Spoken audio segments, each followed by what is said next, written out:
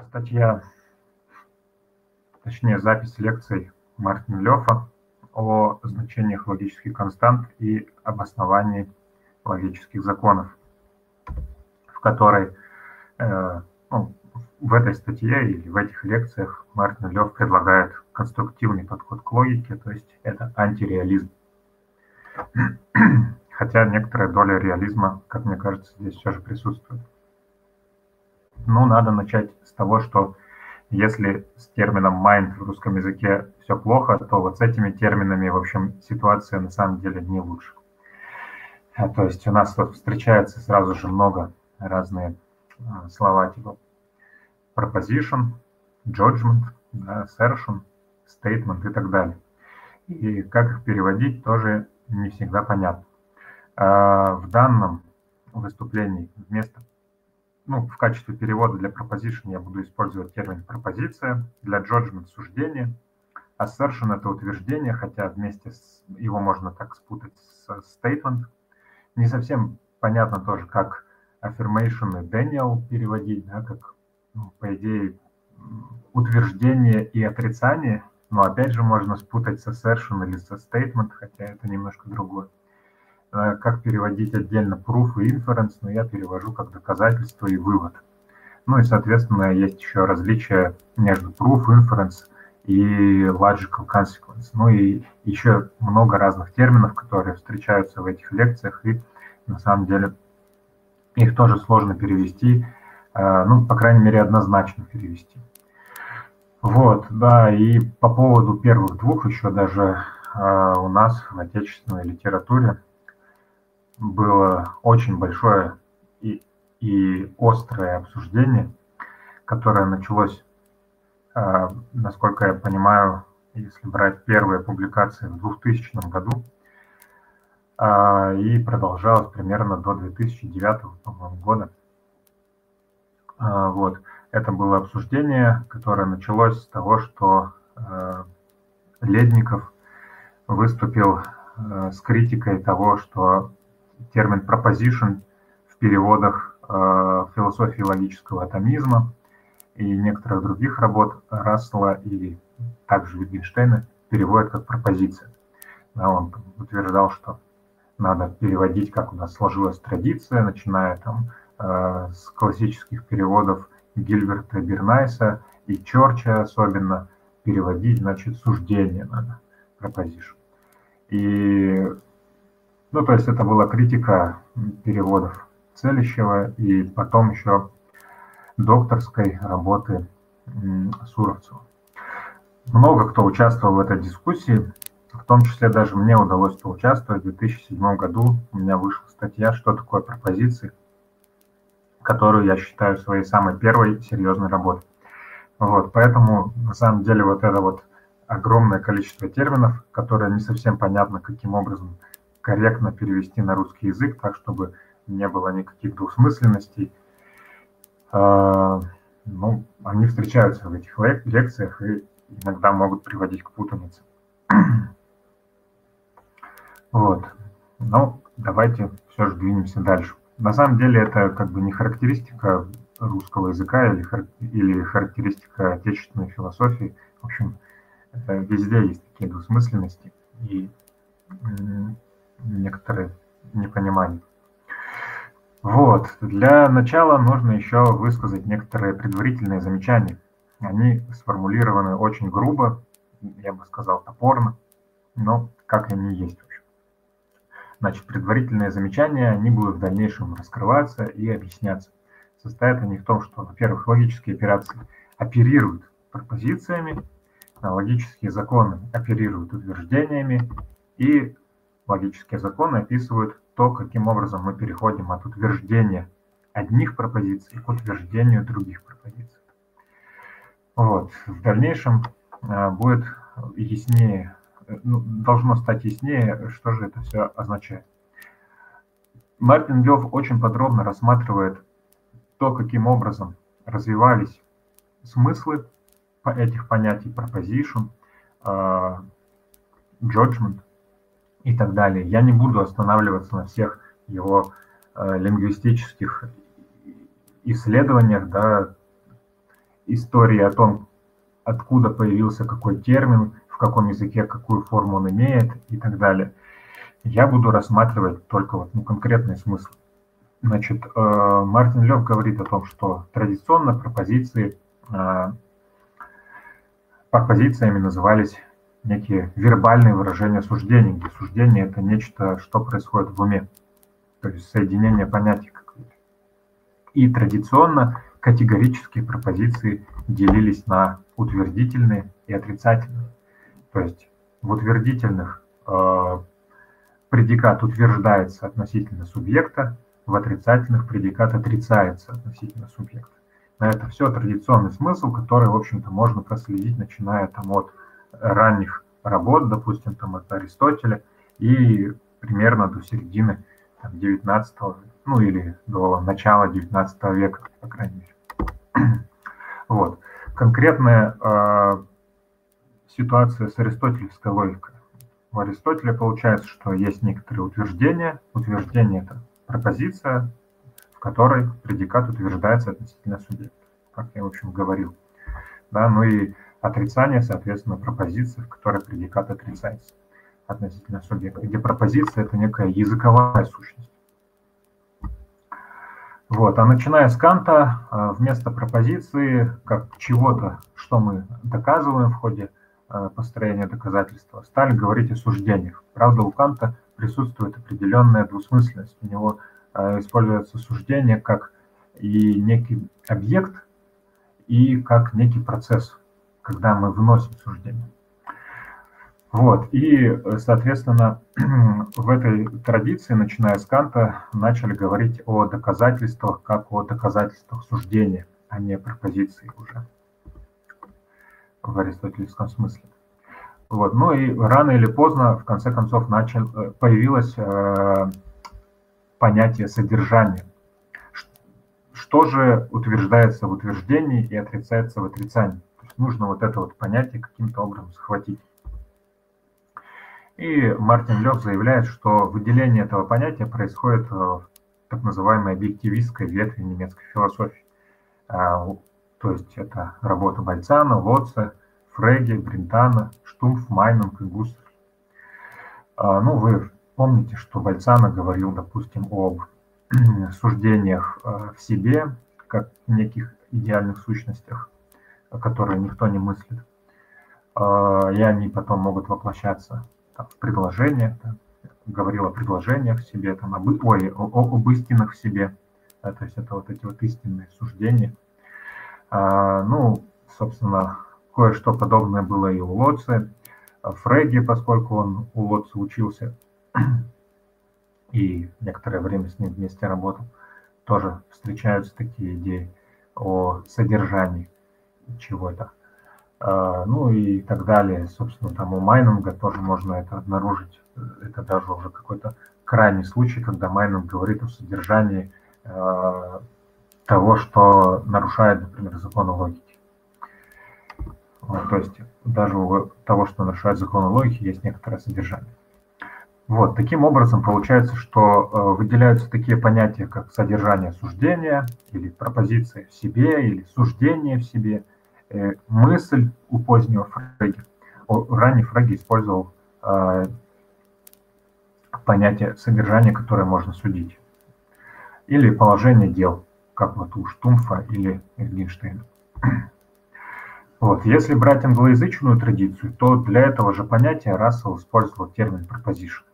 И в конце концов он закрепился в аналитической философии.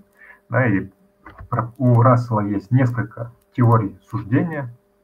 А, и Рассел говорил о том, что ну вот, у него есть, по крайней мере, э, теория суждения, согласно которой пропозиция – это вот содержание суждения, и пропозиция, она может пониматься э, двумя способами. Она может пониматься как некий единый абстрактный объект, а может пониматься, это, по-моему, более ранняя его точка зрения, а более поздняя у Рассела, если я не ошибаюсь, заключается в том, что пропозиция может пониматься как комплексы объектов, свойств и отношений этих объектов.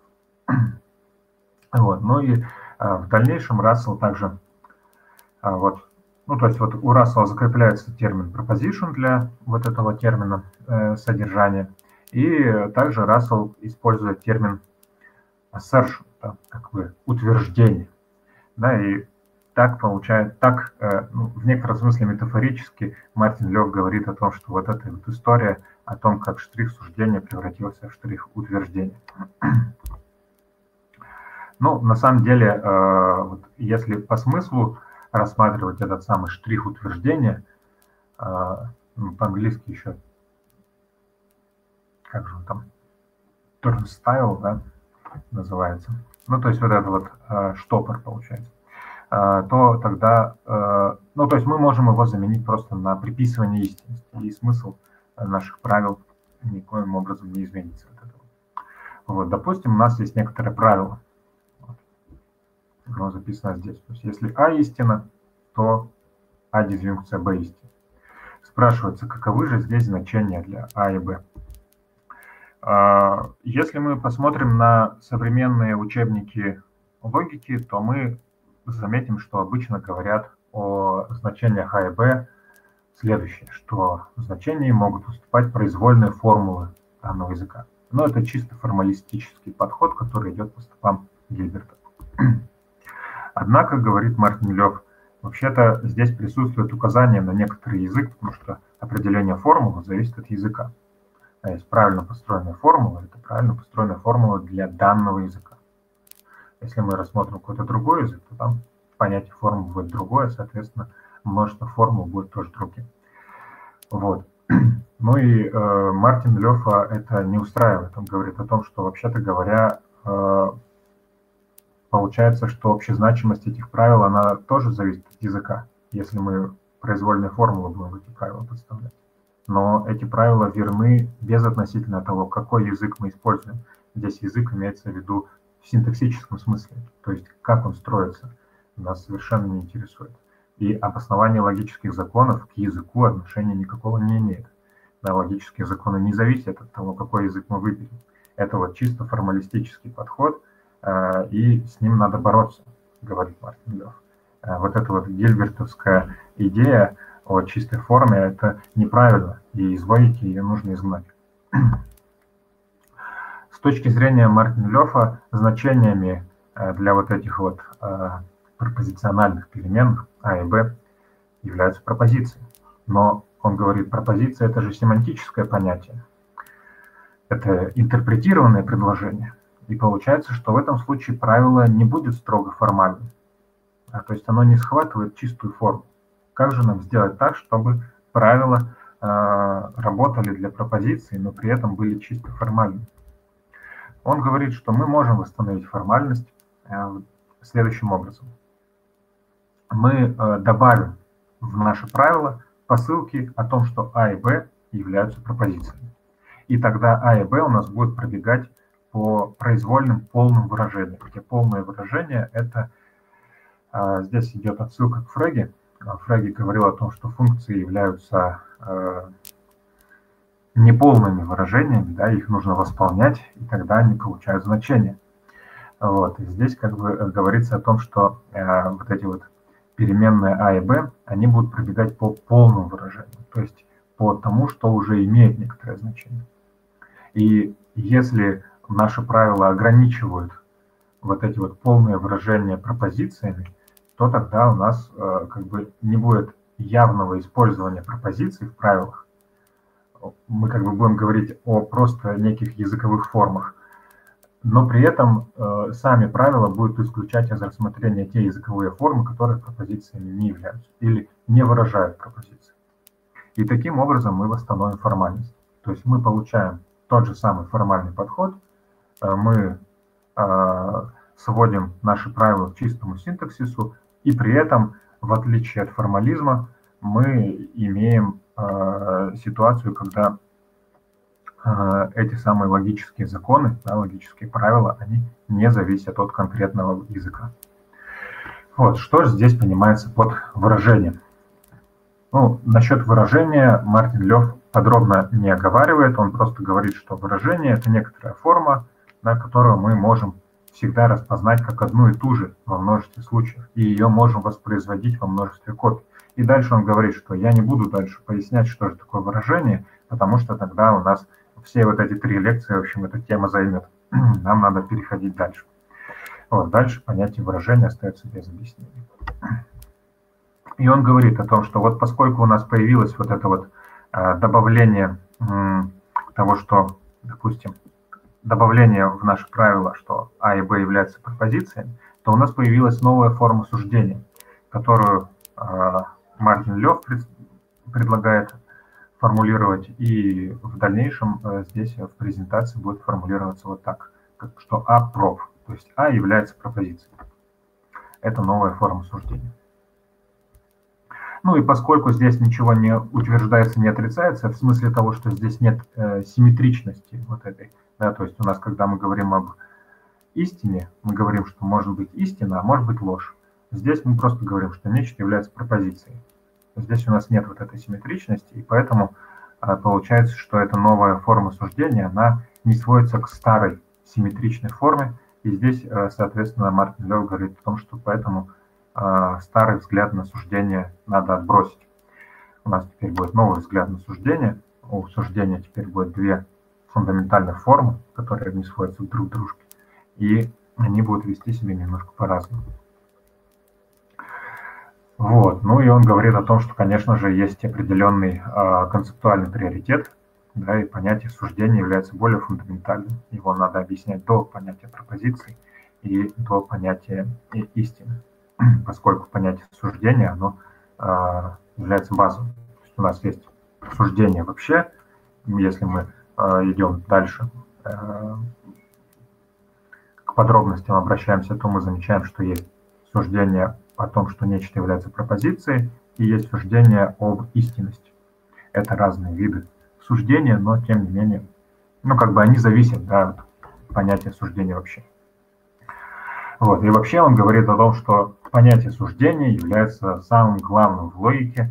И вообще говоря, вот ответ на то, что же такое суждение, он э, тесно связан с ответом на вопрос о том, что же такое логика в принципе.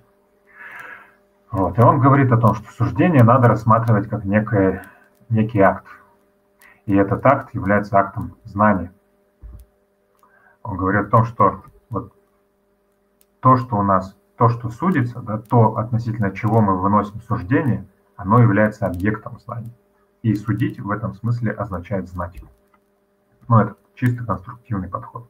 И дальше мы посмотрим и увидим, как э, конструктивная логика основывается таким образом. Вот, и в этом смысле э, Мартин Лев говорит, что логика на самом деле является теорией познания. Или, если использовать конкретизацию, то это теория доказательного знания или теория, если использовать аристотелевскую терминологию, теория апофатического знания. Вот, то есть логика, она изучает знания, э, точнее говоря, те виды знания, которые э, мы встречаем в доказательной науке.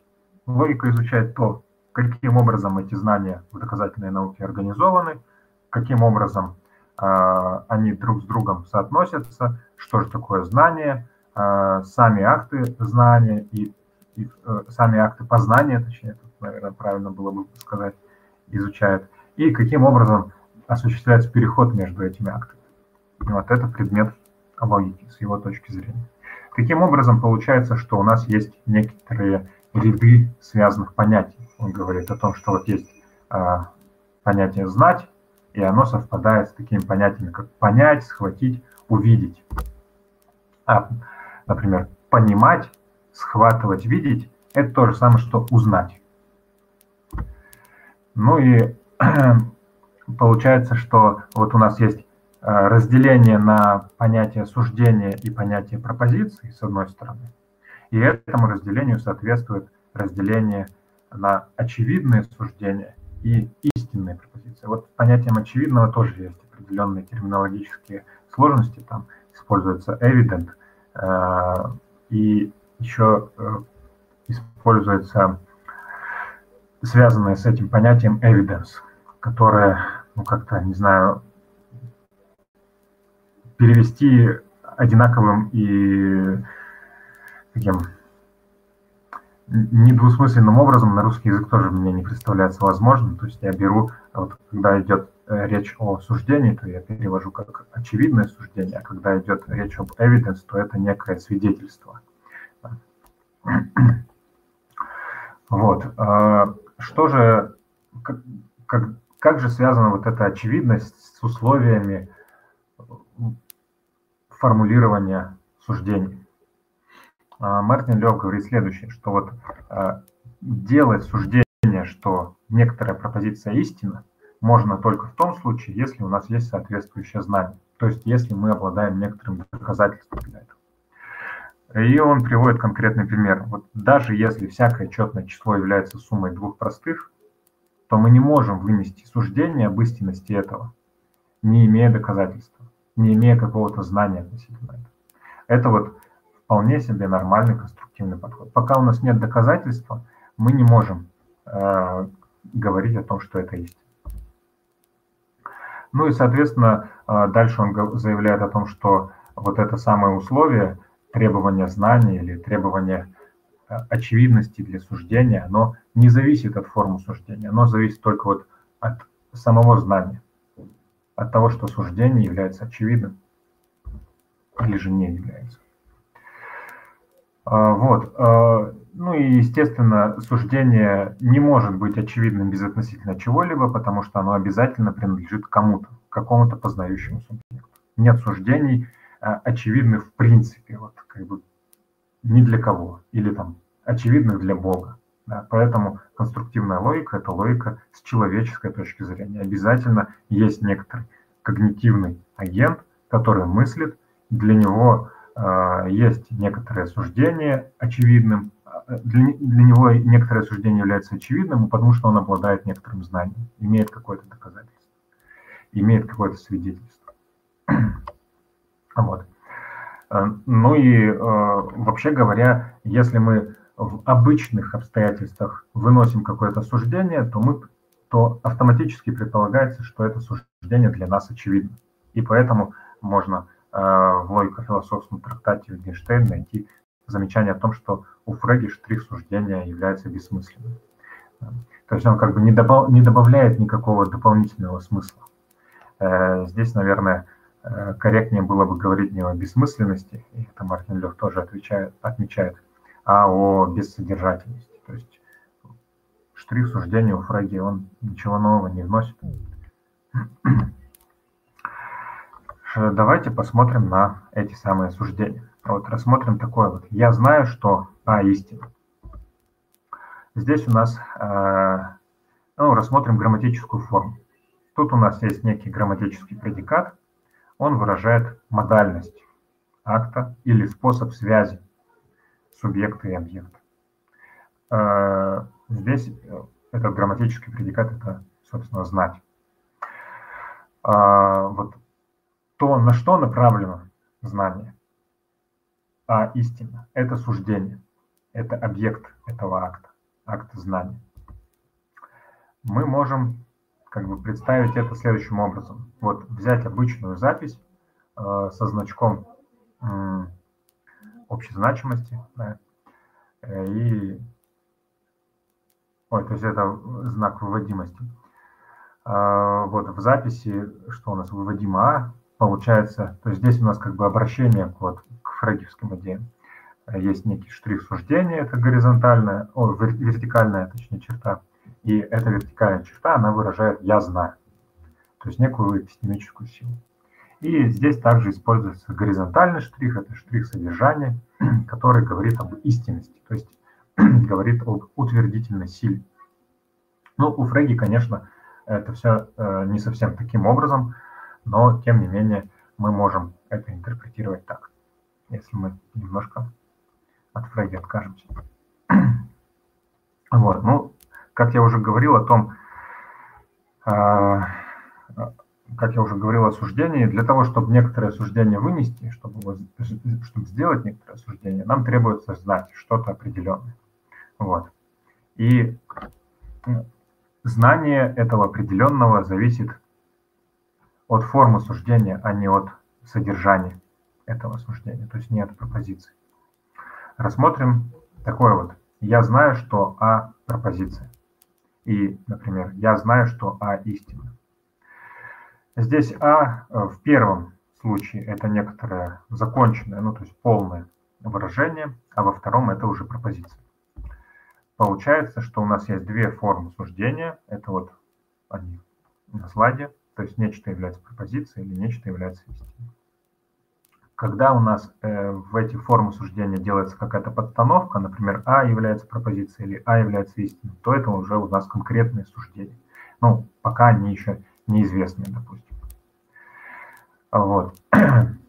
Ну и выражение э, «знаю» – это указание на акт схватывания этого суждения, с помощью которого суждение становится очевидным. И, собственно, вот этот вот самый акт, он и является источником очевидности. Э, и вместе суждение и мой акт схватывания этого суждения дают очевидное суждение. Вот. Пропозиция же – это некоторое выражение, для которого суждение вида А является пропозицией уже очевидно, где вместо А мы вот это выражение подставляем. То есть у нас получается, что как бы вот это, э, припи...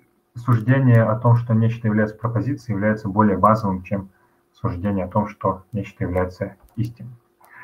Э, Мартин Лев дальше отмечает, что вот, э, традиционной терминологии или в той терминологии, которая сохранилась в математике, есть понятие доказательства, которое понимается таким образом, что доказательство устанавливает истинность. В современной же терминологии, если вот мы вслед за Мартином Лёфом идем, у нас получается, что доказательство делает суждение очевидным. Ну и доказательство э, суждения является вот этим самым evidence, то есть оно является свидетельством для суждения. Что же такое доказательство суждения? Это некий акт схватывания суждения. Это не объект, хотя мы можем о доказательствах говорить как об объектах. Ну, об этом уже надо отдельно разговаривать. Тем не менее, мы говорим об доказательстве как о неком акте. И поэтому э, Мартин Лев здесь приводит Брауэра. Он говорит о том, что вот э, у Брауэра построение как некий процесс, это тоже это синоним для понятия доказательства. Таким образом, у нас получается, что доказывать – это то же самое, что узнавать, и то же самое, что понимать, схватывать и видеть. Доказать это то же самое, что узнать или понять, схватить, увидеть. Да, узнавать – это получать знания, знать, обладать знанием. А доказывать – это получать или строить доказательства. То есть это некоторый процесс, в котором мы находимся. Доказать, соответственно, уже построить доказательства, да, обладать им. Вот. И получается, что доказательство и знание – это, в общем-то, одно и то же. Таким образом, теория доказательств не в гильбертовском формалистском смысле, а вот в этом смысле э, конструктивном – это теория познания, то есть логика в ее изначальном смысле.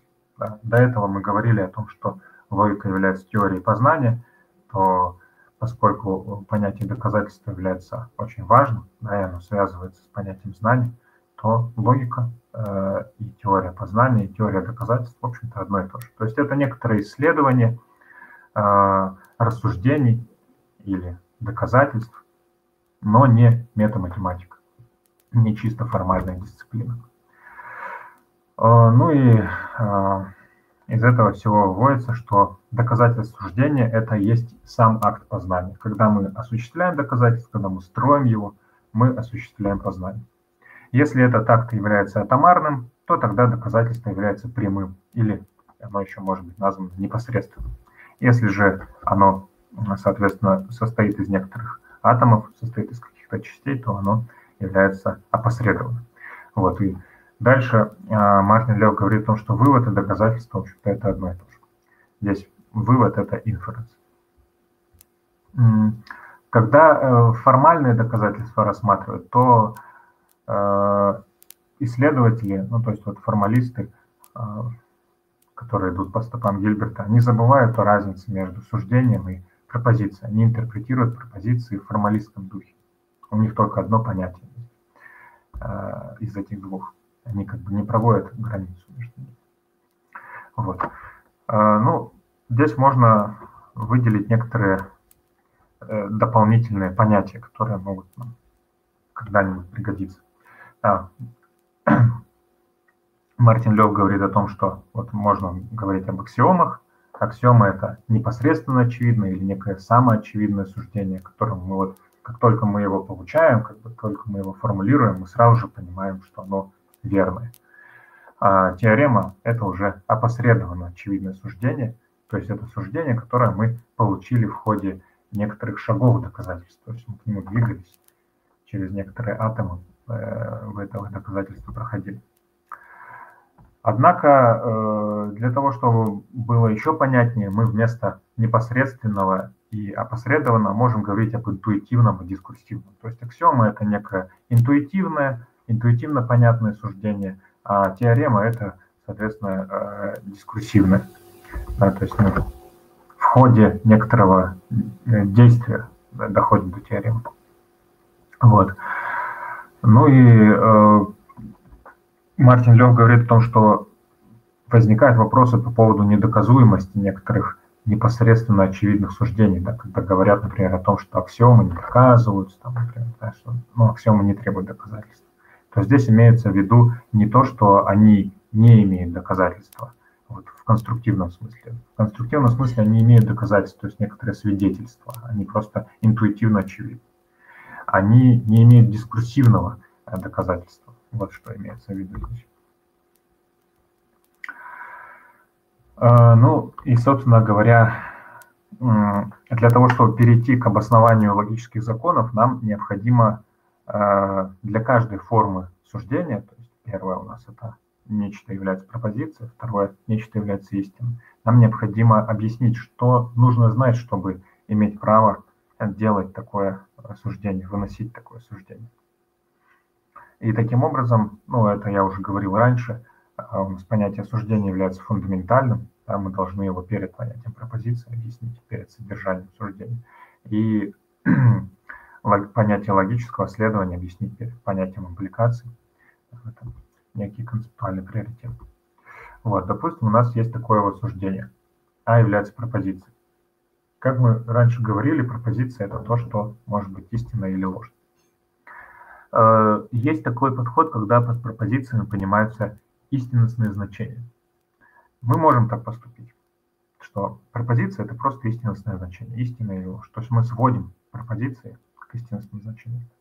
Ну и тогда у нас получается, что мы легко можем обосновать законы классической логики высказываний, и мы можем даже обосновать законы квантификации, но при условии того, что мы рассматриваем только конечный явно перечисленный домен. Если у нас квантеры не ограничены конечным доменом, то законы оказываются неочевидными, потому что э, не совсем понятно, каким образом можно знать, что там, всякая подстановка э, делает утверждение истинным, если этот домен бесконечный. Ну, как бы это, человек это в принципе не способен знать, да, мы не можем сделать это, как проверить, да, сделать все эти подстановки. У нас просто жизни не хватит на эту деятельность. Вот. Таким образом, а, этот подход Мартин Лев не устраивает. То есть он все-таки говорит о том, что а, понятие пропозиции мы хотим сохранить а, вот в этом смысле, как некое, неком, неком семантическом содержательном смысле. Да, хотя вот классическая логика, она, конечно, тоже предполагает понятие пропозиции, но вот это вот понятие пропозиции, которое сводится к чистым истинностным значениям. И Получается, что некоторые суждения, ну, на примере утверждения там, о э, бесконечном домене, они могут быть неочевидными. Да, и, собственно говоря, здесь Мартин Лев указывает на Брауэра. Брауэр отвергал это понятие, но он явной замены для такого понятия пропозиции из классической логики не предлагал. И если мы посмотрим а в рамках интуиционизма тоже далеко не сразу нашлось, нашлась замена для этого понятия пропозиции. А если мы возьмем ранние работы Гейтинга и Калмогорова, то там тоже э, понятие пропозиции не дается. Такое, которое бы законы логики делало э, очевидным. И только в начале 30-х годов э, Гейтинг предлагает рассматривать пропозиции как проблемы или как ожидания, как некие интенции а, Годом позже выходит э, статья Колмогорова на немецком языке, где он предлагает пропозициональные переменные интерпретировать как э, переменные, пробегающие по проблемам или задачам. Однако Колмогоров-то все-таки находился на э, точке зрения скорее классической логики, хотя он очень многое внес э, в движение интуиционизма и, конструктивизма. Тем не менее, он говорил о том, что пропозиции не следует приравнивать к проблемам, а истинность к разрешимости проблемы. И он рассматривал э, вот эту интерпретацию пропозиций как проблем э, скорее как некую альтернативу исключительно для целей исследования в рамках интуиционистского подхода. Вот. Э, что значит знать пропозицию?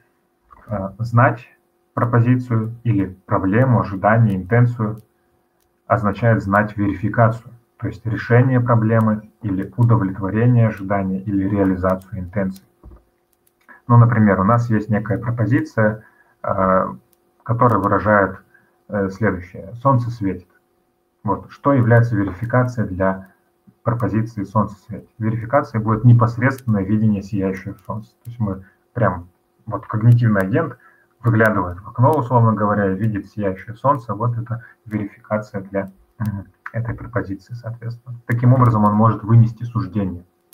Он имеет некое свидетельство в пользу этого суждения. Вот, допустим, мы уже знаем, что нечто является пропозицией. То есть мы знаем, что а, проб вот, чтобы знать, что эта пропозиция истина, то есть проблема разрешима или ожидание может быть удовлетворено, интенция может быть реализована, нужно знать, каким образом верифицировать, разрешить, удовлетворить или реализовать, соответственно, интенцию. Здесь речь идет о возможности верификации или о возможности реализации. Не обязательно его осуществлять э, непосредственно. Вот. И да, тут э, Мартин Лев говорит о том, что у нас есть такие замечательные понятия, как знание что и знание как. Да? И он вспоминает Райл и ссылается на него. Получается, что знать суждение формы, что нечто является истинным, означает знать, как верифицировать пропозицию А. То есть это обладать некой способностью верифицировать эту пропозицию. Знать как это значит иметь способ или метод сделать некоторое действие. Получается, что вот это вот доказательство того, что некоторая пропозиция является истиной, представляет собой метод верификации решения, удовлетворения или реализации этой А. Вот. А если же мы говорим о суждении формы А является пропозицией, то знать суждение этой формы означает знать то, что и здесь э, Мартин Лев говорит о том, что знать то, что, это противоположное знание как. И более того, он говорит о том, что здесь есть определенное отличие от понятия знания что у Райл. Вот это вот различие между этими двумя фундаментальными формами знания состоит в различии между знанием, с одной стороны, что делать, а с другой стороны, знанием, как это делать. Ну и, собственно, в чем же э, состоит э, отличие от позиции Райла?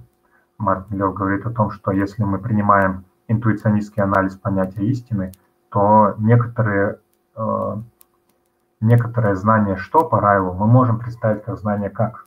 Ну, например, вот у нас может быть знание «что» пропозиция истины. Но дело в том, что с точки зрения интуиционистского анализа знать, что пропозиция истины, это означает знать, как ее верифицировать. Таким образом, знание «что» сводится к знанию «как». Но знание «что», э, точнее, знание «как» и знание «то, что» – это разные виды знаний. Вот, то есть он немножко модифицирует райловскую э, идею и применяет ее к интуиционистскому анализу истины. Ну, как вы понимаете, когда говорят о верификации, сразу же автоматически вспоминают а, логический позитивизм. И тут есть серьезные трудности в том, что сразу же у нас куча всяких смыслов, всякий вот этот позитивистский шлейф возникает. Хотя позитивисты, конечно, не были э, реалистами, да, они скорее антиреалистскую точку зрения занимали.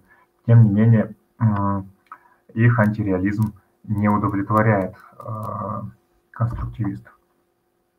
С точки зрения Мартина Лёфа, ошибка логического позитивизма состоит в том, что они путали понятие значения и понятие истины. То есть они говорили о том, что э, значение предложения да, – это метод его верификации. А на самом деле, э, с точки зрения вот, Мартина Лёфа и конструктивистского подхода, верификация связывается с истиной, но не со значением. Он говорит о том, что правильно отождествят истинность и верифицируемость, а метод верификации с доказательством истинности пропозиции. Значение же определяется тем, что значит верифицировать, то есть что значит осуществлять это действие, э, то есть что вообще является верификацией, но не самой верификацией. А каким образом связываются суждения и доказательства? А, допустим, вот у нас есть суждение о истине. Это суждение, которое поднимает, ставит перед нами проблему доказательства, что некоторое о истине. Эта проблема решаема, когда суждение а истина доказуема. И поскольку э, возможность решения проблемы выражается суждением, то имеется у нас новое суждение. А истина, все это доказуемо. Ну, то есть у нас получается, что иметь право выносить такое суждение означает иметь право выносить предыдущее суждение. То есть иметь право выносить суждение, что доказуемо, что А истина, это то же самое, что иметь право выносить суждение о истине. Таким образом, верны оба правила. У нас есть переход от истинности к доказуемости истинности и переход от доказуемости истинности просто к истинности. А, это все было по поводу категорических суждений. Теперь э, надо еще ввести гипотетические суждения. В гипотетических суждениях мы используем некоторые посылки, и эти посылки допускаются. И Мартин Лев говорит о том, что вот эти посылки, э, когда мы их допускаем, мы э, предполагаем, что они нам уже известны, то есть мы уже их доказали. То есть мы предполагаем, что они обладают определенной эпистемической силой. И гипотетические суждения мы можем выразить вот таким образом, что у нас есть некий набор посылок, а первое АН для каждой из них истина, и из них выводится, что нечто, некоторое А является пропозицией. Это первая форма гипотетического суждения. Вторая форма гипотетического суждения уже касается истинности нашего э, заключения. Когда у нас относительно посылок А1, АН говорится, что каждая из них истина, и из этого мы выводим, что А истина. Вот, этот символ, э, вертикальная черта, здесь означает логическое следование. И таким образом получается, что у нас есть некая общая форма гипотетического суждения, когда у нас слева это гипотезы, справа у нас тезис. Ну и гипотезы мы э, можем также говорить о антицидентах, да, тезисы и консеквенты. Вот, но тут у нас получается э, следующее. Поскольку истинной может быть только пропозиция, то для того, чтобы э, первая гипотеза, а первая истина была суждением, то необходимо, чтобы а первая есть пропозиция, то было суждение. Вот. Ну и дальше. Чтобы некоторая АНная истина э, была истина, да, то тогда АН должно быть пропозицией при допущении, что А первая истина, АН минус первая тоже истина. И здесь у нас получается, что в отличие от э, э, генсеновского исчисления секвенций, порядок посылок имеет значение. То есть мы не можем произвольным образом посылки переставлять, поскольку посылки могут зависеть друг от друга. Из одной посылки может выводиться, что выводится некоторая другая посылка. Вот. Так как нечто может быть пропозицией при условии, что нечто другое истинно. Таким образом, получается, что гипотетическое доказательство – это доказательство, которое если мы его дополним доказательствами гипотез, станет доказательством тезиса. То есть понятие категорического доказательства предшествует понятию гипотетического. Гипотетическое – это расширение понятия категорического доказательства. Мы можем обобщить еще дальше гипотетические суждения э, следующим образом. Ввести туда переменные. То есть для каждой э, гипотезы вводим э, зависимость от переменных x1, xm, и для нашего тезиса тоже.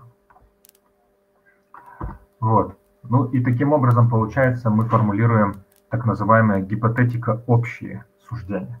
Вот для того, чтобы иметь право выносить гипотетика общее суждение, нужно иметь доказательства со свободными переменными для тезиса и посылок. При этом э, мы должны иметь возможность вместо переменных подставить все, что угодно с сохранением их местности, э, и доказательство должно оставаться доказательством.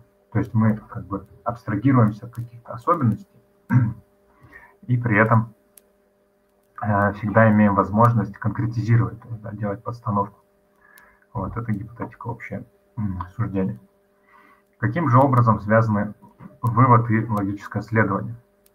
Вывод, говорит Мартин Лев, это доказательство логического следования, где под логическим следованием он понимает гипотетические суждения. Категорическое доказательство – это доказательство заключения. Гипотетическое – это доказательство заключения из посылок. Если мы э, э, как бы имеем э, доказательства для логического следования, то тогда мы как бы осуществляем превращение, мы превращаем антициденты в посылки, а консеквенты в тезис. То есть у нас переход, осуществляется переход от гипотетического э, суждения к категорическому. Ну, например, вот у нас может быть э, такое вот гипотетическое суждение. А из А истина логически следует ложь.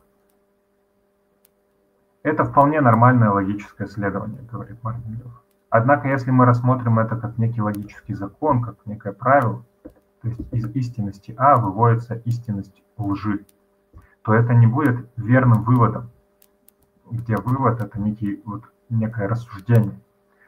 А не будет верным выводом за исключением тех ситуаций, когда пропозиция А является ложной. Вот если А будет ложным, то только тогда мы можем вывести, что ложь истина. То есть мы получаем противоречие. Соответственно, это не логический закон в данном случае. Хотя это вполне нормальное отношение логического следования.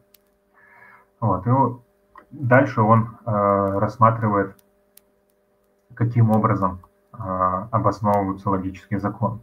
Во-первых, э, мы должны вводить три типа правил. Это правила построения, правила введения и правила удаления. И я не стал все рассматривать, это третьей а, лекции занимает практически э, всю, практически все место.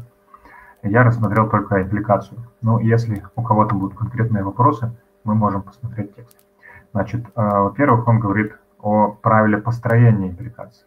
Он говорит о том, что это некий непосредственный вывод, да, и если мы знаем, что А является пропозицией, а также, что если А истина, то Б является пропозицией, тогда мы знаем, что пропозиция является импликацией А в Б.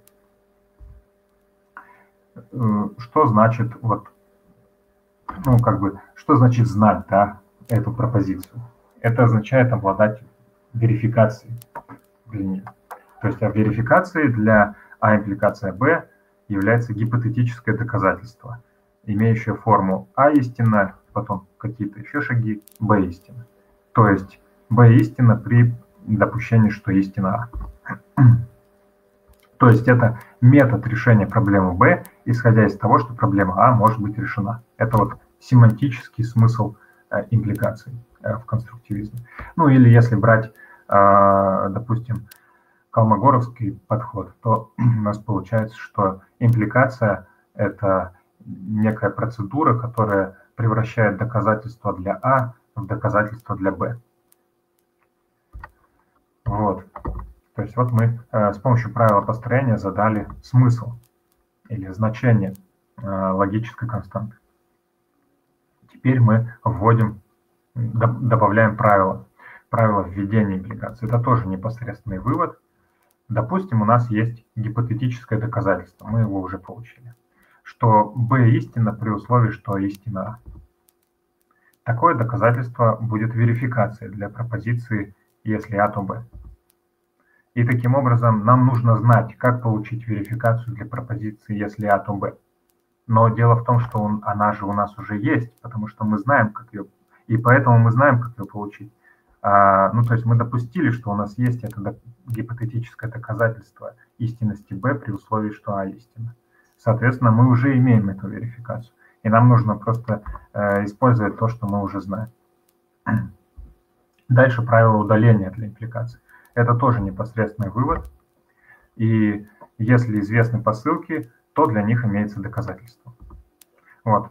У нас одна из посылок – это э, А импликация Б, то есть мы знаем о том, как верифицировать А импликация Б. У нас же есть уже доказательства, да, это посылка. Вот. А верификация А импликация Б – это гипотетическое доказательство следующей формы. А истина, потом какие-то шаги Б истина. То есть B истина при допущении, что истина. И у нас есть еще одна посылка. И эта посылка А истина. Соответственно, поскольку у нас есть гипотетическое доказательство того, что B истина при условии, что истина А, и у нас есть истина А, получается, что у нас есть категорическое доказательство, что B истина. Таким образом, мы имеем уже э, знание о том, как верифицировать B. Соответственно, мы можем это правило тоже обосновать. Ну и каким же образом э, есть определенные отличия между значением и непротив... Э, между этим подходом и подходом а,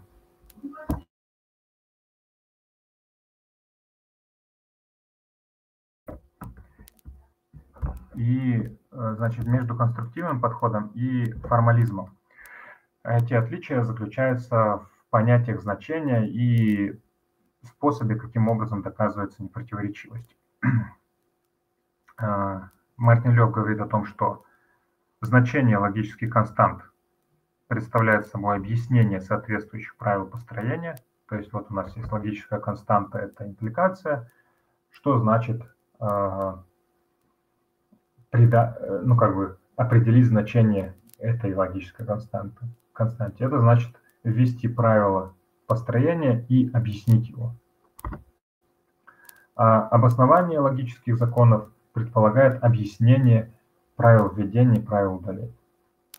То есть э, у нас как бы получается, что вот в формализме у нас логические константы лишаются значения, лишаются какого-то смысла, они становятся чистыми формами. А в рамках конструктивного подхода они наоборот наполняются смыслом, наполняются значением, и благодаря этому мы получаем обоснование для логики. Что значит э, доказать непротиворечивость формальной системы? Э, в рамках вот этого конструктивного подхода. Э, это означает показать невозможность построения доказательства того, что ложь является истиной. И это делается в рамках конструктивного подхода не метаматематически, то есть не как у Гильберта, а путем, э, ну, у Гильберта это делалось путем лишения правил и доказательств э, смысла, а наоборот, то есть мы наделяем наши логические константы и наши правила вывода смыслом, мы отталкиваемся от, от семантики, а не от чистого синтаксиса. То есть доказательство непротиворечивости э, в рамках формализма – это невозможность выведения А и не А. А здесь у нас получается, где вот эта невозможность выведения – это чисто синтаксическая работа. То есть мы машину можем включить, она ничего не понимает, она просто выводит формулы. И вот она у нас, если может вывести А и не А, значит система противоречива. Если не может она этого сделать, э, значит система не противоречива. А здесь у нас получается наоборот. У нас машина не может как бы эту работу выполнить. Ну, по крайней мере, в 80-е годы, когда э, Мартин Лев читал эти лекции, сейчас-то мы уже имеем э, интерактивную систему доказательств, которые все это могут делать. вот, э, то есть э, Получается, что мы наоборот наделяем логические константы и логические законы смыслом, и этот смысл сам по себе не позволяет нам выводить противоречия. Ну вот, на этом все. Спасибо за внимание.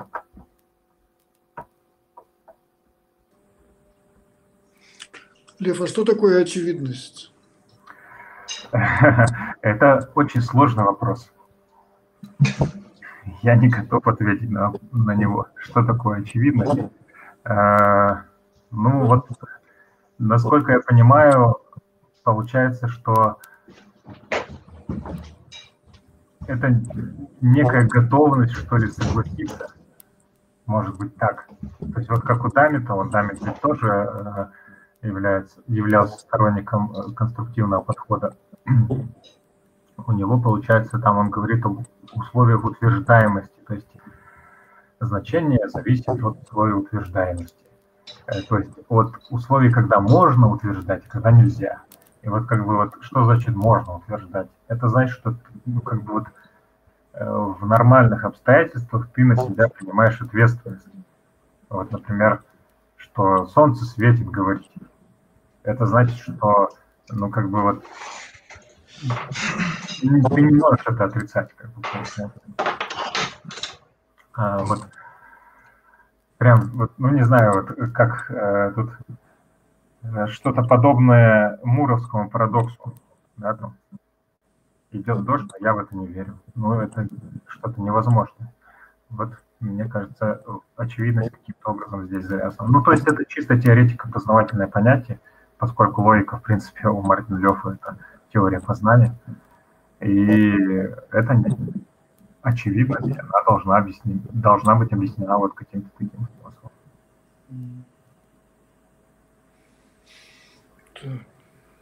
Ну, пожалуйста, у других, может быть, э, у кого-то еще вопросы есть.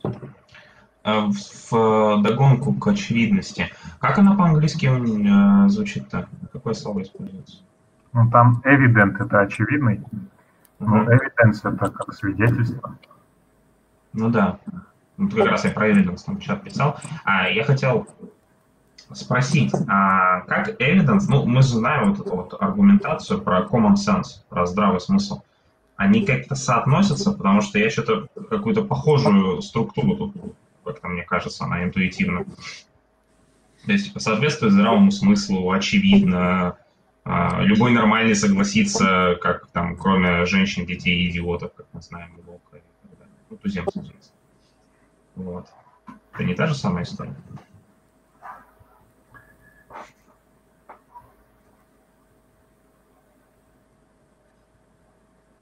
Ну, не знаю даже. Все же, мне кажется, тут речь идет о каких-то более глубинных познавательных структурах, и от них зависит это самое свидетельство или очевидность. Ну, то есть вот вижу солнце сияет, значит, имею право утверждать это суждение, выносить это суждение. А когда речь идет о каких-то более сложных понятиях, там уже сложнее. Ну, то есть, как говорить о том, что, например, э, не знаю, справедливость ценна, или нужно защищать справедливость? Никак, брось морализм, фу, тубяку. Ну, да, я понял, о чем ты, да. Ну, вот, э, То есть есть некоторые, видимо, соответствия нашим как минимум познавательным процедурам, структурам, в соответствии с которыми людям, которые ну, дружат с этими структурами, в мире с ними находятся, им очевидно, когда мы доказательства условно приводим, такое, такое, которое очевидно. Ну вот если бы к логике подойти с эстетической точки зрения, то ведь наибольшее удовольствие именно там, где есть контринтуитивность. Я согласен.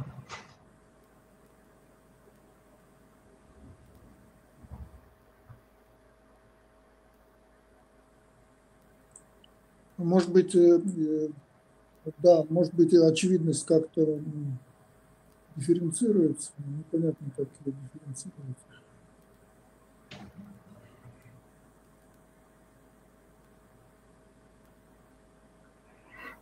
Ну, может быть, тут проблема еще в том, что понятие вот этого свидетельства, оно достаточно широкое, то есть оно же бывает разное, бывает как доказательство. Вот мы прям строим доказательство из нескольких шагов. Вот у нас есть свидетельство для того, что мы в выводе получили.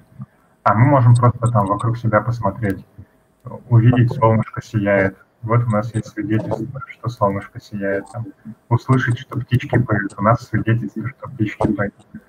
Вот. То есть оно бывает очень разным. Ну да, э, и это, тогда, может быть, понятие очевидности как-то сближается с понятием обозримости. Ну, мне кажется, это немножко другая история. Обозримость – это же когда мы все шаги видим, доказательства, и можем посмотреть, что откуда взялось. А очевидность – это, ну, ну, в прямом смысле, то есть ну, мы видим, что так и есть, условно. Не обязательно именно во внешнем мире, ну, то есть там как бы, ну да.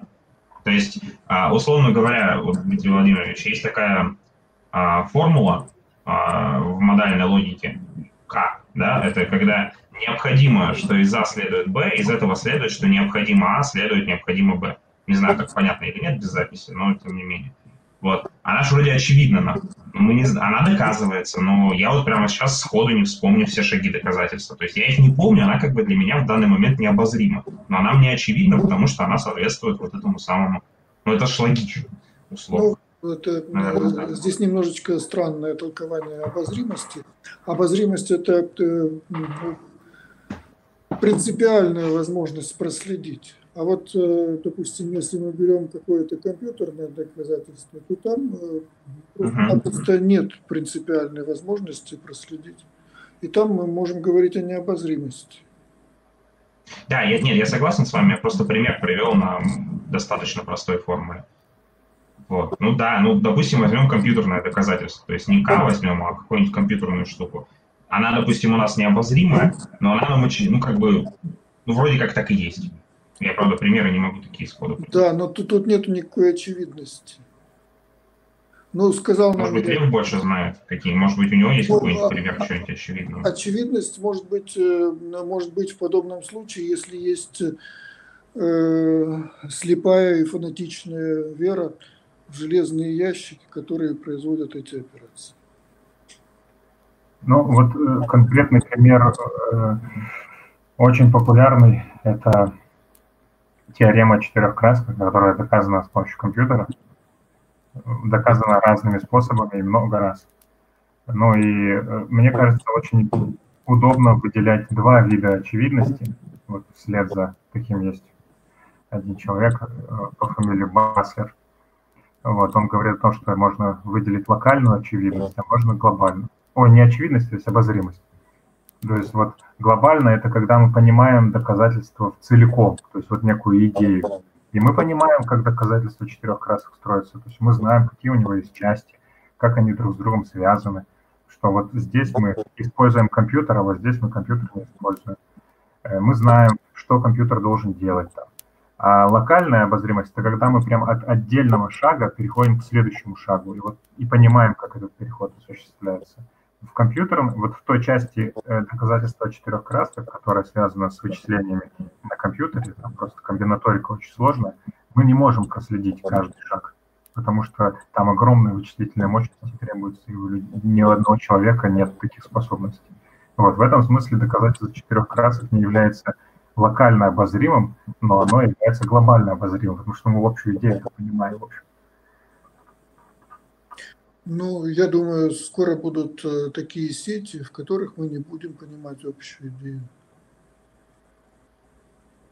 Так мы тогда и результат, наверное, не сможем использовать. Да, мне тоже так кажется. Если свято верить, то сможем. Ну, это тоже вот есть э, в философии математики рассуждения о э, марсианском математике Саймоне, который как бы вот он начал Э, по мановению там, волшебной палочки, им просто в голову приходят истинные утверждения математики, и все, он их высказывает. И рано или поздно марсианские математики поняли, что не надо ничего делать, надо просто Саймона слушать. И вот у них один математик остался на всю планету, который просто истину вещает, как оракул. Вот, они используют ее.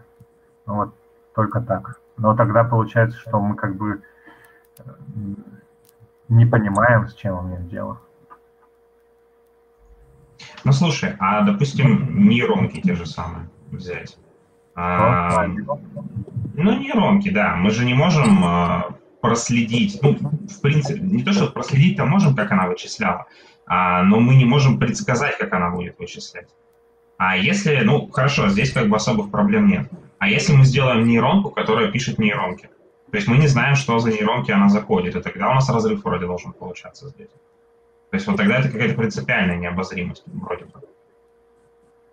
Да, мы сейчас, мы для первой нейронки даже сейчас в достаточно сложных случаях не знаем, что там внутри творится, и объяснить не можем.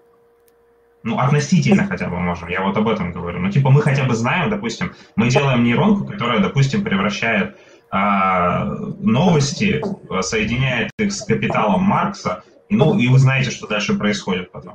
А, вот. А если мы сделаем нейронку, которая на основе огромного, огромной базы вообще всех возможных нейронок что-то лепит сама, мы тогда вообще не представляем, что она в принципе делать будет. У нас даже общей идеи не будет.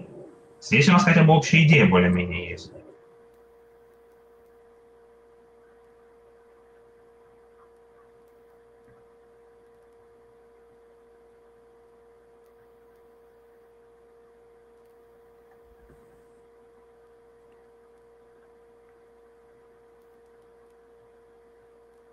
Ну, Я могу пригласить э, на какое-нибудь заседание онлайнового кружка э, специалиста по нейросетям, он может нам что-нибудь об этом рассказать, что они делают там и так далее. Если это интересно. Он давно что-то хотел. Ну, в смысле, не хотел, а мы как-то в разговорах с ним он предлагал, давай я что-нибудь расскажу кому-нибудь. Он студентам предлагал. Вот. Но студентам, я думаю, это совсем сложно. Ну, ну, может быть, если мы выйдем на понятие обозримости. Ну, конечно, да. да. Мне кажется, э, ну, допустим, эти понятия не, не совпадают, но они имеют какую-то область пересечения, непонятно. Ну, наверное, потому что некоторые очевидные доказательства обозримы. Вот такая область пересечения, как минимум. Но вопрос в селе, например.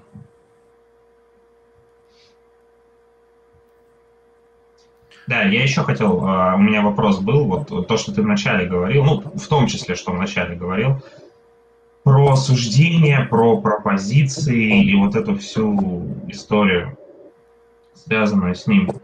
А в итоге Лев все-таки, как бы он выделяет отдельно а, пропозицию как логический объект, неважно, конструируемый или существуемый в реальности, или это все-таки какая-то ну, фиктивная какая-то штука, которую мы просто используем вот реально как суждение, как там высказывание.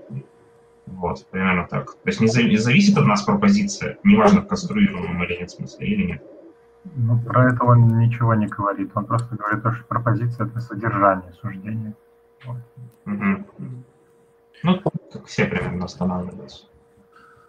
Ну, может, я ошибаюсь, но мне показалось, что иногда Мартин Лев говорит, как следует реально понимать суждение, как следует реально понимать пропозицию. Мне тоже так показалось, потому что хотя это вроде конструктивная должна быть история, а они реальные Вот э, иногда проскальзывает это, да. Если мы будем э, строить металлогику гипотетарскую, некоторую формальную систему, то нам, конечно, это не нужно. Мы можем избежать э, подобных утверждений, что нечто реально должно быть таким иным. У нас просто есть, опять же, грамматика, мы от нее методология. А когда мы э, содержательных моментах, это уже ну, не совсем методологика или не методологика гипотетарская, это некоторая смесь методологики и метафизики. Но вот э, что это за метафизика тогда и почему это метафизика Имеет конструктивистский характер.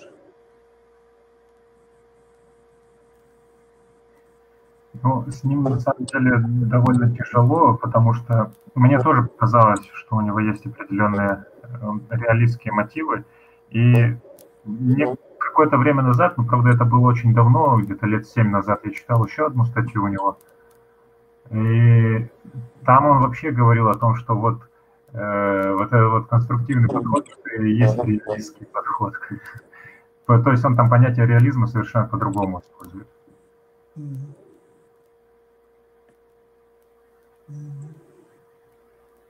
Хотя при этом он вполне знаком там и с, с работами Даммита там и так далее. Ну вот э, э, реалистский подход в данном случае наличие, мне кажется, все-таки некоторой сложной метафизики в его методологических рассуждениях. Он от этой метафизики отталкивается.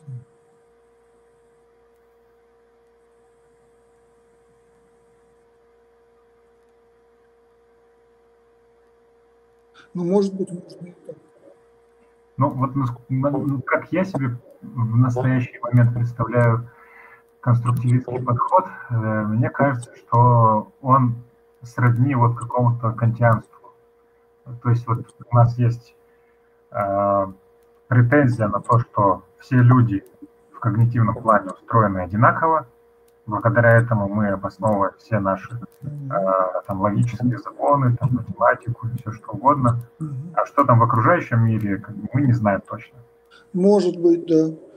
То есть э, метафизика – это что-то вроде кантианского ядра, которое необходимо для всякого человека, размышляющего о логике.